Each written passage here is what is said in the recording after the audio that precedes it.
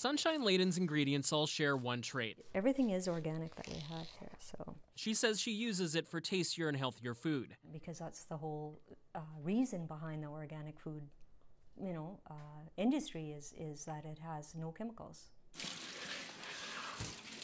So she's disappointed to find out the vegetables she's using right now may contain residues of the very chemicals she's trying to avoid. It's appalling, um, and but you really, we really we really have to look and see exactly why that's happening. Through access to information, CBC News obtained the results of tests conducted on organic fruits and vegetables by the Canadian Food Inspection Agency. Over the last two years, 45.8% of them tested positive for pesticide residues. The organization that represents organic trade in Canada calls it concerning. While farmers may not use pesticides, it says there are other ways food can become contaminated.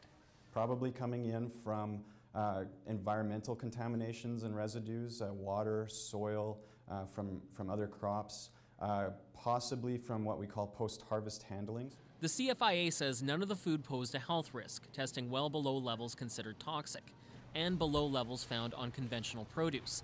This food safety expert isn't all that worried, but says consumers paying a premium for organic produce should adjust their expectations.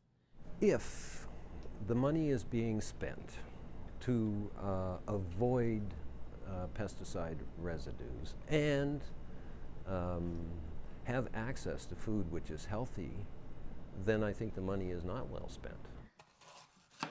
Given the choice, Layden says she'll still opt for less chemicals with organic produce. She'd also like the government to be more open with test results. I think we need to know as consumers. We have the right to know. She also says she'll try to buy as much food directly from farmers as she can saying that'll give her more confidence in how it's grown and handled, even though she'll never be 100% sure if it's pesticide free. Cameron McIntosh, CBC News, Winnipeg.